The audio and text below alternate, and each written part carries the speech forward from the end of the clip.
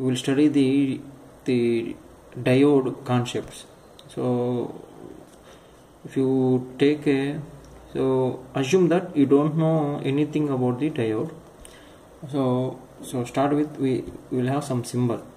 So symbol inside uh, this diode or what or how to manufacture this or what is inside in this diode. So let's forget about in everything just remember there is a some element is there and we will uh, have some operations. So it's easy to remember those operations. If already you know something about this it's very good. But if you don't know anything just assume that diode is a two terminal device. Two terminal device or generally we say an element. So two terminal means it will have two so generally why the name comes diode is it will have two terminals. That is one is anode and another is cathode. So so there is a two terminals. So that's why it is called di element so it's called diode right? So sim we will assume two possible conditions. So there is an ideal characteristics for this diode. So we will start with this ideal characteristics. Then slowly we will end with the practical diode characteristics. So for that reason so what I will do is so we will see first diode applications.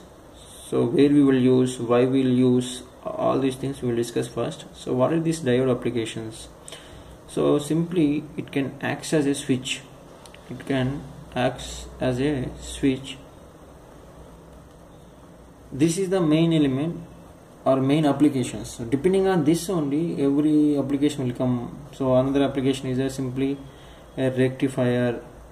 Next one is a clipping or clippers. Next one clampers etc so it, it, it the diode will be used in a some protection circuits also. So protection in the sense it will not allow after some currents or it will uh, oppose some currents. Protection circuits. How in these circuits we will use as a this diode right? So now we will see how the operation of the diode. So operation is so we will start with the ideal one. So this is a diode symbol. Generally anode means remember that it is a positive terminal. Cathode means it is a negative terminal so why the name comes and what happens inside this uh, p type n type semiconductors that we'll see later.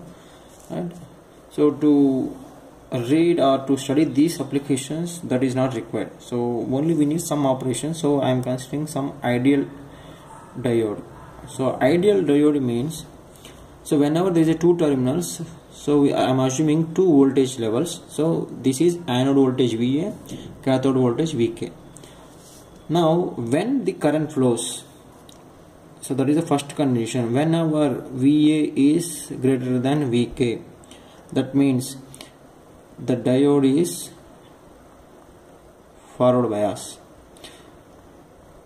So what is a forward bias means the moment when we give some anode voltage greater than the cathode voltage simply it will behave as a some short circuit to allow the current flow i so it is like this. So up to this so if you think like that in your home so 230 volt is coming into your home but when you switch off the uh, power what will happen? So the light whenever there is a light is there or fan it will it will not on.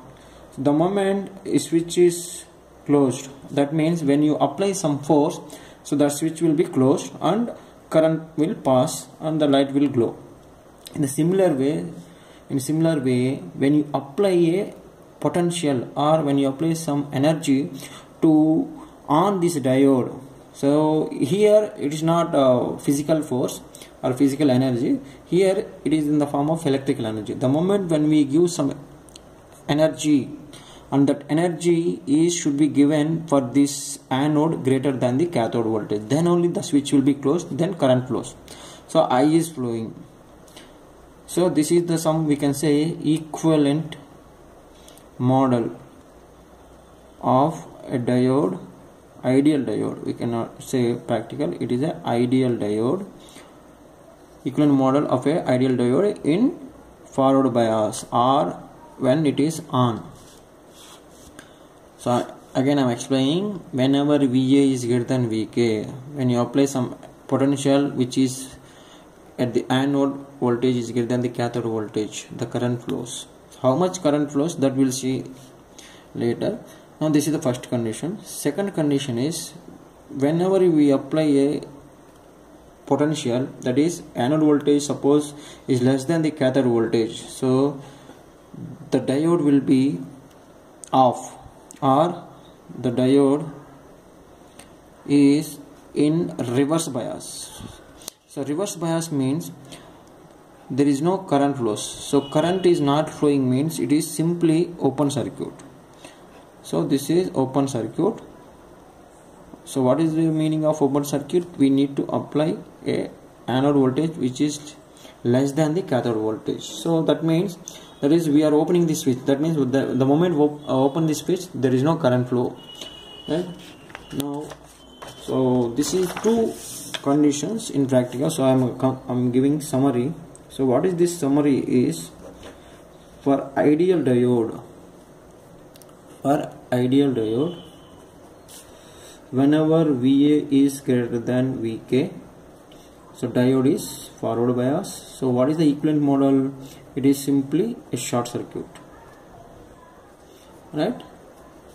Now whenever va is less than vk so diode is in reverse bias mode. It is simply open circuit. This is short circuit. This is open circuit. Now if you draw the iv characteristics so this is i and this is v. Right so generally for ideal diode, the moment when V is greater than 0, so the current start flowing. Whenever V is less than 0, there is no current flows. So this is the ideal diode characteristics. So, so whenever V is greater than 0, so it is in forward bias. Whenever there is no current flows, there is zero current, it is in reverse bias so from these characteristics what we can uh, conclude is that means vk should be given to 0 volt. Then only we can say va is greater than 0 so diode is forward bias whenever va is less than 0 diode is reverse bias so that means there is no current flows at all. Next in the next, next lecture we will see for ideal diode what are these conditions? Right